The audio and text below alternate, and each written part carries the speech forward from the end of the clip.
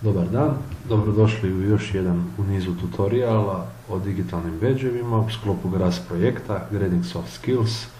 Danas ćemo naučiti kako izraditi badge i prijaviti se u sustav Credly.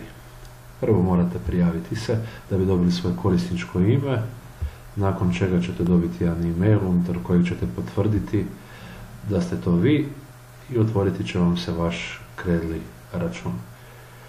Nakon što vam se otvori Credly račun, postupak će ići vrlo jednostavno.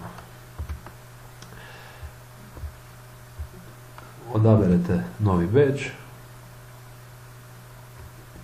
možete odabrati oblik badge kakav želite, ne samo da možete odabrati badge, nego od ovih ikonica možete izabrati ili ove ili još od njih nekoliko tisuća prema kategoriji koja vam se sviđa.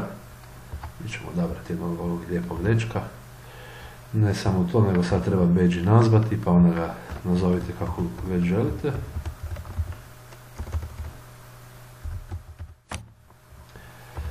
Možete odabrati okvir badge kako već vama to odgovara i naravno boju samog badge kako vam se sviđa. Evo recimo neka bude zeleni. Ikona može ostati crna i rub možemo izabrati neka bude neki malo tamniji. Nakon toga morate opet upisati ime badge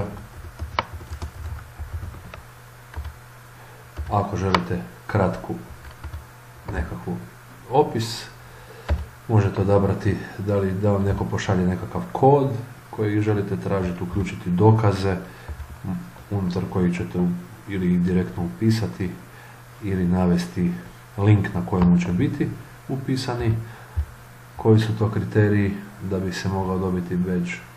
Nakon toga imate opis kriterija pa slobodno kliknete ovdje upišete za kriterij opis i za same kriterije. recimo